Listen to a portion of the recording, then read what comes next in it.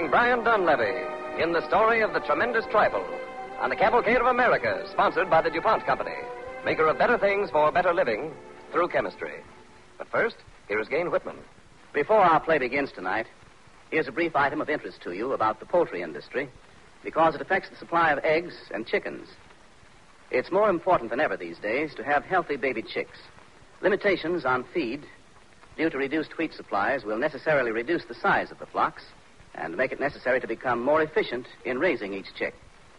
DuPont supplies Cel-O-Glass, plastic coated wire mesh, the ideal material for poultry house windows and other buildings. Cel-O-Glass protects chicks from damp, cool spring weather, but does not shut out the passage of the health giving ultraviolet rays of the sun.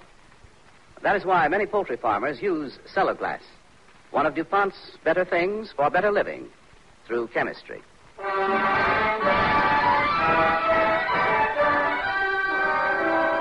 DuPont Company presents the story of the tremendous trifle, starring Brian Donlevy as Edwin Drake on the Cavalcade of America.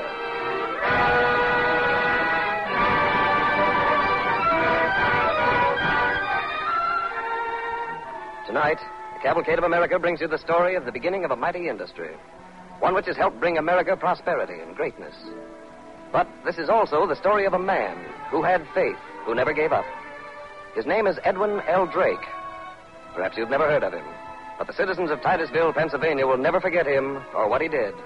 Nor will a grateful industry forget Edwin L. Drake. The story begins, really, in the office of Mr. George H. Bissell, one of the pioneers in the petroleum industry. But it's the year 1857, and there are troubles and worries confronting Mr. Bissell and his associates. No, no, no, now look here, Eveleth. Kerosene, coal oil as they call it, is catching on with the public. They're using it for an illuminant. I know all that, Bissell, but what can we do about it? Well, Drake should be back any time now with his report. hey, whatever made you hire him, Bissell? Well, because he sold himself to me. There was something about him. Well, let's hope his report is favorable. Somehow I've got a hunch, Eveleth. A hunch that tells me to stick with it. Well, we can't do anything until Drake gets back from Pennsylvania.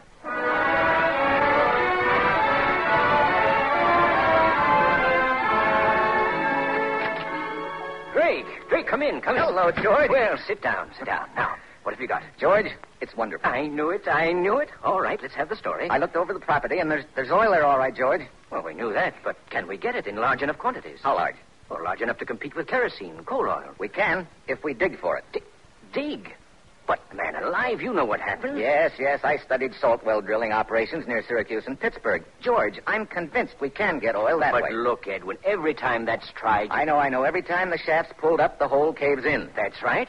And you still think digging's the only way? Yes. How did you do it before? Well, we. I'll tell you. You dug trenches. You siphoned the oil out when it came to the top, passed it along to the distillers, and, well, you can't get it fast enough that way, can you? Well, that's what the trouble is. Well, then there's only one way left. Now, now, now, wait a minute. I- I'll admit you have a point when you say we can't get it fast enough the old way. But what do you know about it? You were a railroad conductor. You hired me, didn't you? Well, of course I did. Well, I've just told you what I think. George, I want to go back there again. I want you to let me oversee the operations. But you've only seen salt wells dug, and we're not in the salt business. No, you're in the oil business, and you're not getting oil fast enough. Look, George, people are ready for a new illuminant.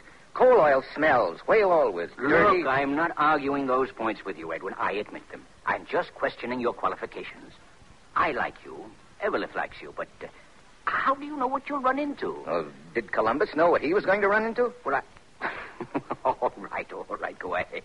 But we've got to have results, or we'll have to dissolve our business. I think, George, you'll stay in business.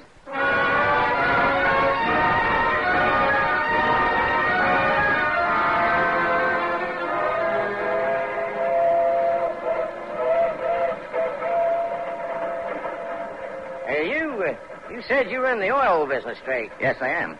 Coal oil? No, just oil. oh, boy, have you got a surprise coming. Or maybe you know already. What are you talking about? I know what I'm talking about. I lost every penny I had in that business. Why, uh, why did you lose? Well, because we couldn't get the oil fast enough. Well, I know that too. You know, and yet you're going to, to wherever you're going, and. Uh... I am. Oh, look, give it up. You can't take oil off the surface fast enough. There were days, weeks, when we didn't get a drop. But this oil is better than coal oil. There's a market waiting for it. Oh, oh, listen, Drake. Do you know that 15 out of 16 oil men went broke trying to get the stuff out of the ground fast enough to compete with coal oil? You hear that? Broke, busted flat. And I'm one. Well, you might have gone at it the wrong way. Oh, we tried every way. Digging, too? Digging? Oh, oh, get that out of your head, Drake. Why, you punch a hole in the ground, pull up the shaft, and before you know what's happened, the whole caves in. Yeah, I know. And you're still willing to take a chance. Mister, there's nothing in this world that amounts to a hill of beans if you don't have to work for it. I don't expect anyone to come to me and hand me barrels and barrels of oil. I know what to expect. And uh, you know how to lick it, I suppose. No, not yet. Well, there you are. Well, I guess I'll catch a nap. Got to hunt for a job tomorrow. I only hope you're not tying everything you got up in oil, Drake. Good night. Good night.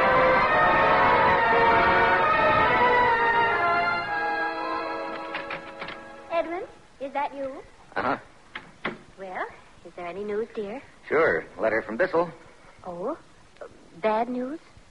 Laura, maybe I shouldn't have come. Maybe everyone's right. Edwin, don't say that. You will find a way. Laura, I love you.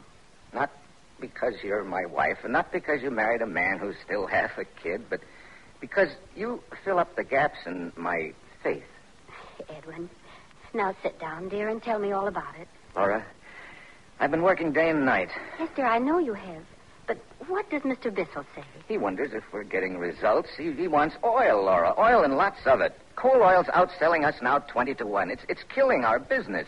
Oh. But mind you, Laura, only because I can't get enough oil to compete. I can't get oil enough to the distillers. But the digging.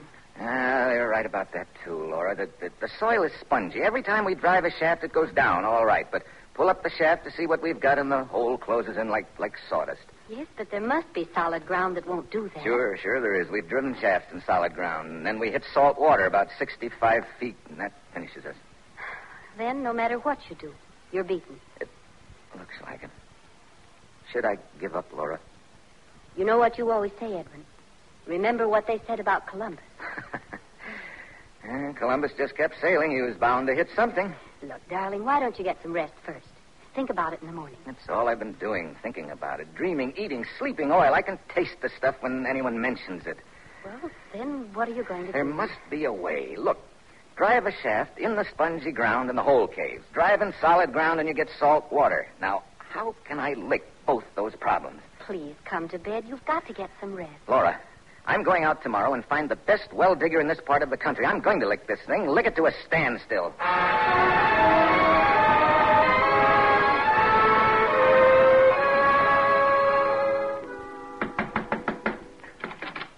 Yep. I'm looking for a man named Uncle Billy Smith. Are you? I wonder if you could tell me where to find him. Uh, what might you be wanting with him? Uh, can I come in? Yep. All right. You're in. Would you be Uncle Billy Smith? Could be. Well, if you are, I've got a proposition that might interest you. Mm, yeah. I've been in Titusville five weeks now, and everywhere I go, I hear that Uncle Billy Smith never brought in a tainted salt well. Always brings in clear salt water. Yep. Are you Uncle Billy? Uh, sit down. Thanks. Now, uh, what is here proposition, Colonel? Oh, you know me. Well, folks in little places like this here don't pass up strangers without finding out who they are and what they're doing. Now, you uh, are looking for oil. Right. Are you Uncle Billy Smith? Have been for almost 75 years. Reckon that's my name. Good. Now we can talk business. Yep. All right. Uncle Billy, I want you to help me find oil. Oh, but Colonel, and my job for 50 years has been a digging and a bringing in salt wells. I know, I know. And you never had one tainted with oil. Nope. That's why I want you to help me find oil. Now, wait a minute. Uh, you're looking for oil, and you come to me because I ain't never hit none? That does sound crazy, doesn't it? Well, I don't know. I had an uncle once. Touched in the head, he was. Uh, but he ended up better than any of us. well, I figured you never hit oil because you weren't looking for it. Yep. But you knew where it was, and you stayed away from it. You're right smart, Colonel. Yep. Huh? Oh. Uh, well, Colonel, I... Uh, hey, wait a minute. What's the matter? Uh, everybody calls you Colonel. That's right. Uh, what do you Colonel of? Uncle Billy, between you and me and the lamppost, the closest I ever got to a uniform was being a conductor on the New York New Haven Railroad.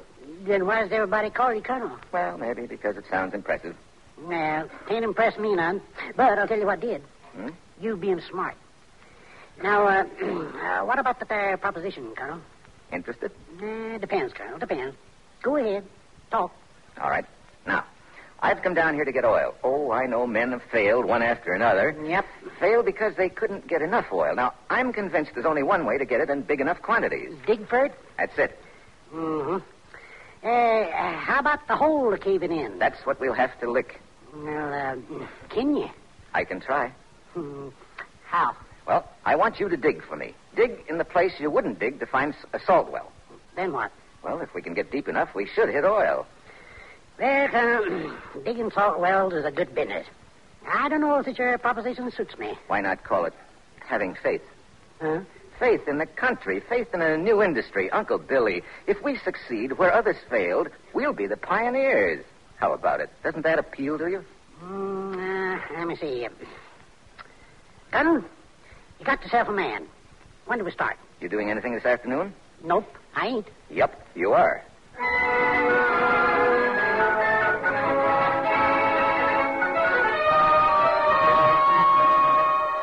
About this place, Uncle Billy? Well, I don't know. Let me sniff around a bit. Again, but we've tramped all Uh, over. Colonel, you asked me to find oil for you. Ain't that it? That's it. Well, you said something about having faith. Hmm. Now, you got to start off by having faith in me and what I know. all right. I guess I am a little impatient. Sure, sure. Now, let me see. Colonel, Yes? look down there where you're standing. What? Right here? Yeah. There's oil right under your feet. Uncle Billy, are, are you sure about it? Can you be certain this is a good place to dig? For 50 years, I've been a sinking salt wells in the cherry part of the country. For 50 years, I dug more holes than a crazy gopher on a tear. And this, Colonel, this is the kind of land I shied away from, cause I knowed it had oil in it. Oil that would have tainted my salt wells. We've got to be right, Uncle Billy. Colonel, when I was a young fellow in the business, I hit my share of tainted wells because I didn't know oil from a year. But I learned. This is oil land. That's what I wanted to hear. We'll start digging. You know any good men to help us? Well, I got two boys, both of them good. That's good enough for me. You go get them. Get all the equipment you need and bring it here, and I'll wait. Yes, you're going to take a lot of time, though, to get back in town. Well, that's all right with me. We'll start as soon as you get back here. Yeah, it's going to be dark by that time, Colonel. Oh, light or dark, Uncle Billy. We start as soon as you get back with the men and the equipment, and we'll keep on until we hit oil.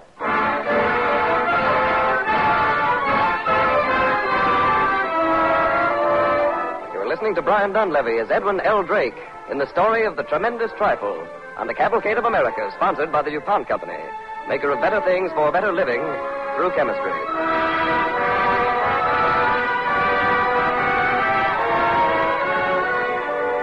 As the second part of our story opens, Edwin L. Drake has hired Uncle Billy Smith to help him dig for oil. Drake has two problems to solve. First, he must sink a shaft deep enough to hit oil. Second, he must prevent the hole from caving in when the shaft is removed. Just now, the second problem is the most pressing. How's she going, Uncle Billy? Now, Colonel, we're going to see you in a minute. We've got about 20 feet down. Shaft's out now, and we'll have to hook on another section to go deeper. Well, how about the hole? This this ground looks loose and spongy. We, we might get a cave in. Mm, Could be. But stands to reason we got to get another section hooked on. Ah, you're the boss on that. Oh, there she goes. The hole's caving in. Doggone it. And we didn't even get the water. Now, ain't that the consolidated thing? Oh, it's all right. We'll just have to start all over again. now. Three days we'd been a digging down, and, and for what? Uncle Billy, isn't there some way to stop the hole from caving in when the shaft's pulled out? Don't know of any, Colonel. All right. Let's start again. Hmm, You ain't going to give up? Give up. Look, that shaft is going right back in. We're going to keep punching holes in this sawdust until we get one that stays. I came here to hit oil, lots of it. And I'm going to hit it if I have to drive that shaft clear through to the other side of the world. Now, let's go, boys. Ready on the engine. We're going again.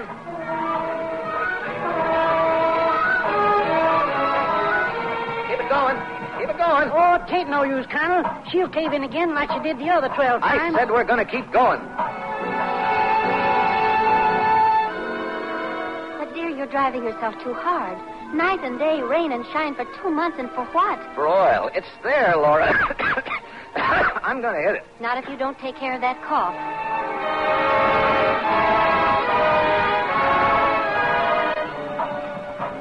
Colonel, three months is a long time to be punching holes that cave in as fast as we get them down. Uncle Billy, I'm going to stay with it if I have to do it by myself.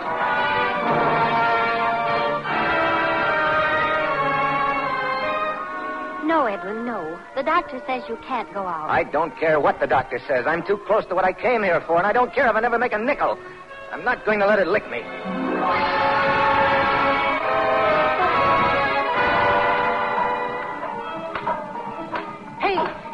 Hey, we. Stop the engines. Rock. All the way down to 69 feet, and we hit rock. Now we are finished. Yeah, I guess that does it. No. Look, have you got a shaft that'll punch through that rock? Well, sure, but we're going to have to pull that shaft out to get a different one down. And when we do, she'll cave in again. Yeah, that's the size of it, Colonel. Well, it looks like we're done for for sure now. Oh, but we've got to. I. Hey. Huh? Billy, So what's the matter?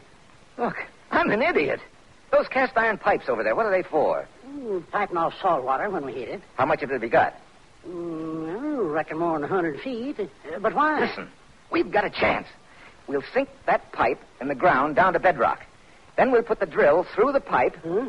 Don't you see? The pipe will be a casing to, to keep the walls of the hole from caving in. Well, I never heard of that before. Neither did anyone else. Come on, get it done.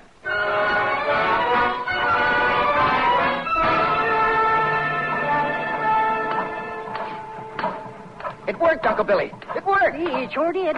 The pipe sure held the walls up. All these months it took me to think of a, of a trifle like that. It looks like it might be a tremendous trifle, Colonel. And we, uh, with it, We're through. Through the rock. yeah, and if there ain't oil under that there bedrock, my name ain't Billy Smith. All right, boys, work fast now. Get the shaft out. Come on, come on, let's get going.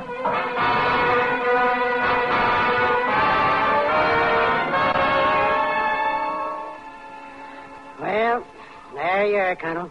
Nothing coming up but salt water. Darn stuff. For 50 years I've been a trying to hit it. Then when I don't want it, That's all right, Uncle Billy. You couldn't know. Mm, I should have. I should have. Colonel, I, I could have swore there was oil down there. Well, there isn't, so I start all over again. Well, now look, Colonel. You're a sick man. Mighty sick. It was only work and hope that kept you standing up all these months. Oh, I'm all right. I'll pay off you and the boys and. Uncle Billy. Look! Colonel, that's oil bubbling up in that pipe. Oil! Oil! We did it, Uncle Billy! We did it!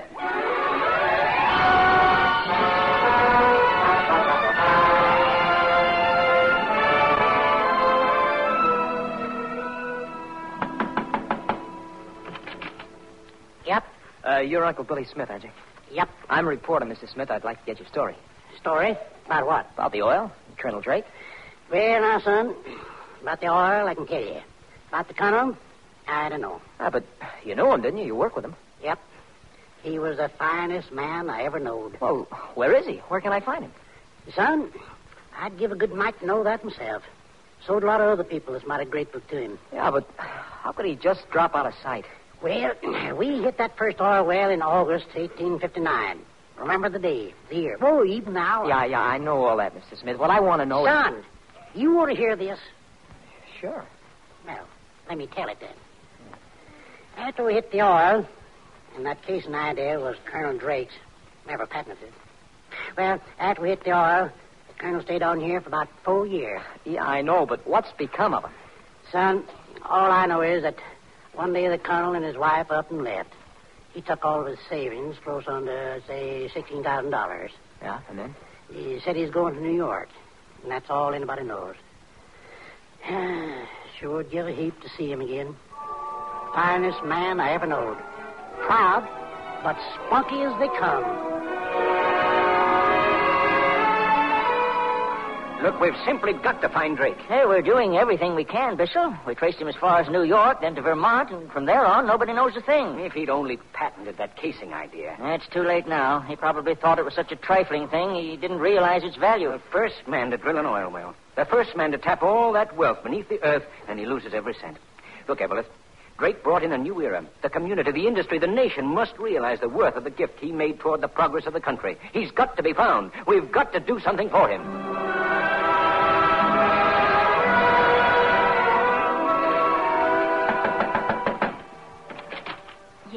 Excuse me, but does Colonel Edwin L. Drake live here? that's right. May I see him? Well, I. He's very ill. Oh.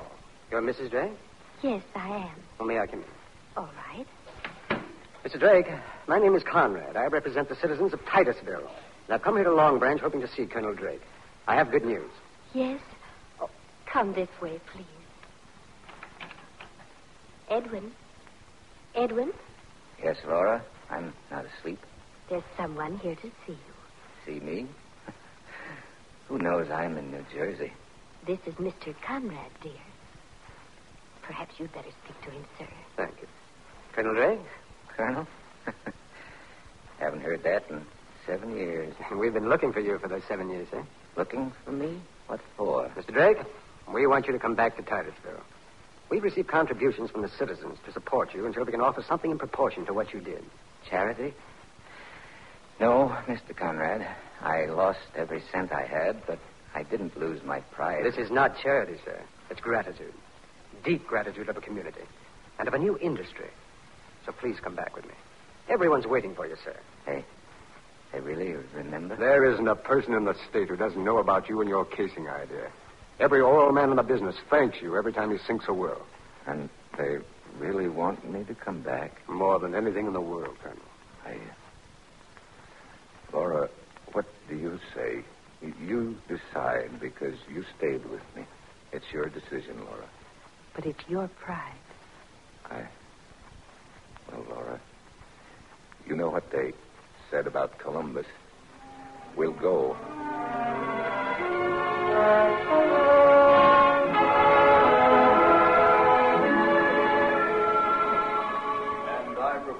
That in gratitude and deep appreciation for what he did for the nation, for what he did for a new and grateful industry, that we of the Pennsylvania State Legislature grant a substantial annuity for the rest of his life to Edwin L. Drake. There won't be any doubt about it, Edwin. I. I don't know what to say. You don't have to say a word, Edwin. It's what you did in August 1859 that counts, and we remembered it. The industry remembers. Edwin, we'd better go now. You look tired. Tired? Oh, oh, nonsense, Laura. You know what they said about Columbus. No, dear. What did they say about Columbus? They said. They said. I. I don't know. I guess I never did know.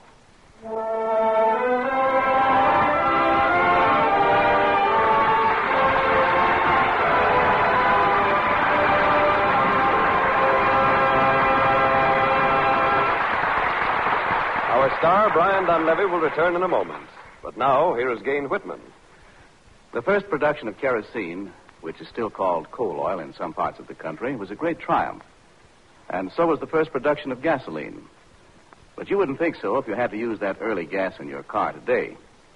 A motorist in the early 1900s usually had to strain his gas through a chamois skin to filter out the water and dirt. And while he was doing it, the neighbors could smell the stuff a block away. The engine in a modern automobile can be better, and is better, because of better gasoline.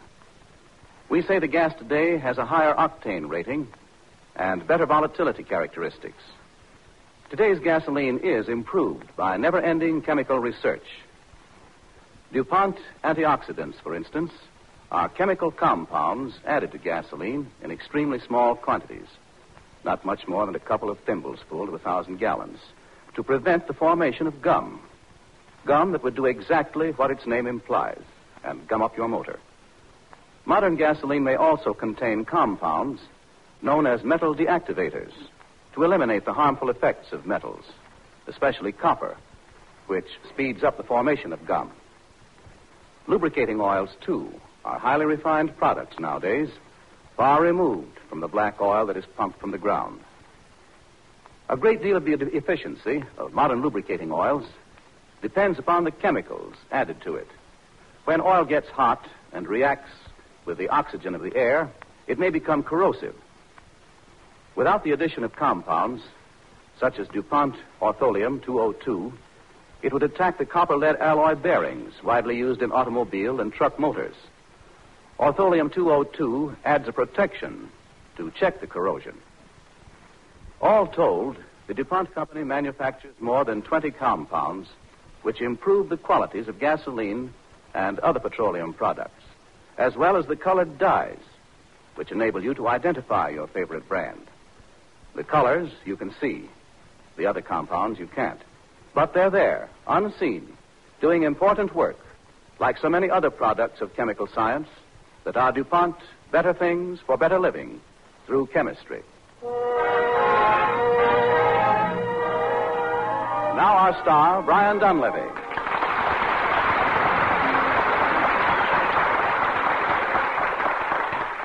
Thank you. Brian, just about this time, we thank our star for being with us.